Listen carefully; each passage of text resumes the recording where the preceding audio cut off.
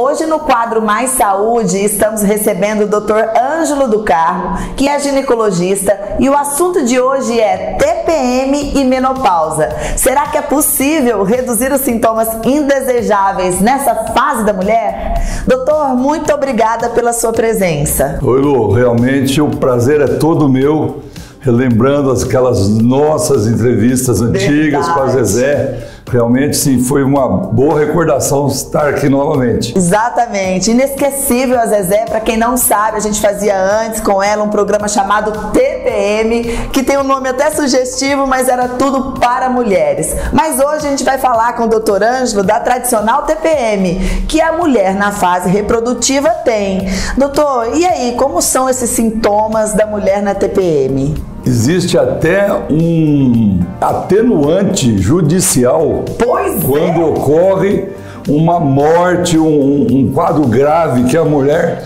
ataca o marido ou ataca outras pessoas.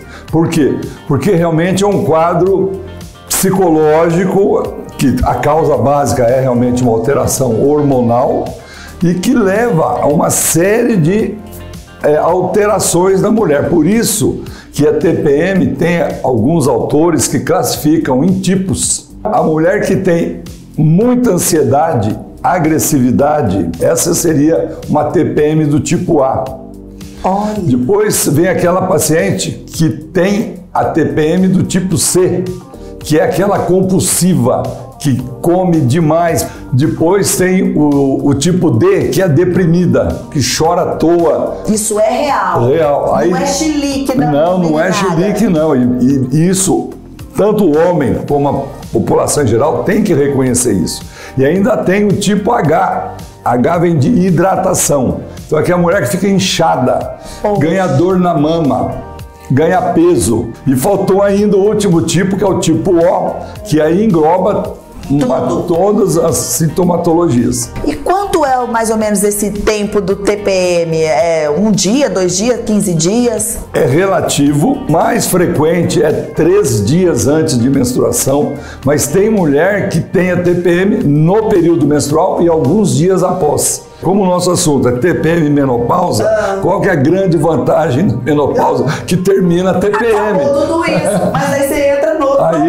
você, exatamente, que seria os sintomas do climatério. Quando a gente se livra dessa loucura da, meno, da, da TPM, da entra é, na menopausa não, e aí... E esse é o outro problema sério que você já acabou de definir. A onda de calor é um dos principais mas ainda tem formigamento na mão, Nossa. insônia, depressivo também, aumenta a depressão, alteração da pele, alteração do cabelo, tudo isso. Nervosismo. Nervosismo, tudo isso interfere em relação sempre, todas as vezes relacionado aos níveis hormonais da mulher. Então, mulher mesmo é uma mulher de fases regidas aí pelas alterações dos hormônios. Mas e aí, doutor? É possível tratar para viver bem com, com nesse período, tanto né, na fase reprodutiva quanto né, quando se encerra o ciclo na menopausa? Com certeza. E, e, e esse é o foco nosso de profissional, é exatamente para ajudar as mulheres. O que, que a gente busca? Uma melhor qualidade de vida. Então, nesse sentido, como o foco principal é um problema hormonal, a gente atua fazendo essa regulação, mas as condições de vida da mulher geral, estando bem em casa, com o marido, fazendo exercícios físicos, alimentação adequada, tudo isso vai corroborar para que ela tenha uma boa qualidade de vida. É nesse contexto que nós vamos trabalhar.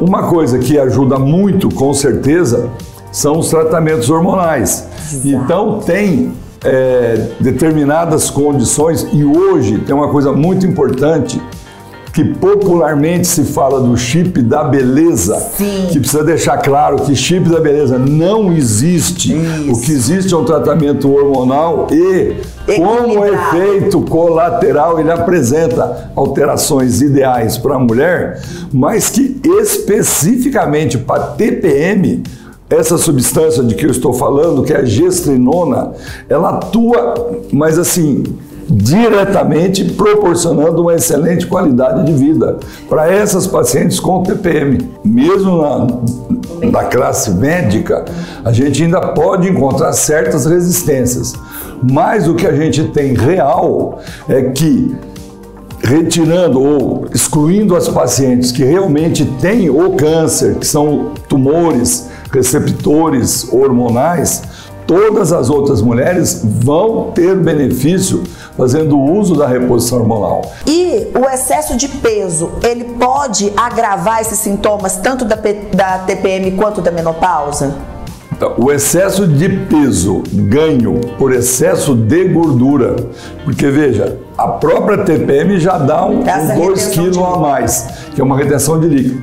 Mas toda paciente realmente que tem uma dieta alterada, que não é uma dieta bem balanceada, com certeza ela vai ter alteração, porque a própria gordura da mulher é um produtor também de hormônio. Uhum. Então, é fundamental para melhorar essa qualidade que ela mantenha uma dieta muito bem balanceada, bem controlada.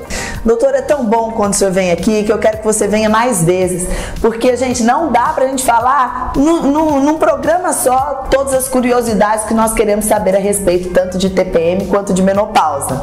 Então, em breve, o doutor Ângelo volta pra gente esclarecer mais dúvidas a respeito disso. Inclusive, pra gente falar sobre a parte do libido da mulher, né? Da libido que melhora demais, não é isso? Com, certeza. Com a reposição hormonal. Com certeza. E é necessário, principalmente no período do climatério e menopausa, é. que a vagina sofre algumas alterações que vão dificultar até o ato sexual e a penetração. E existem vários tratamentos que podem ser feitos, inclusive laser, mas isso é um assunto para um outro programa.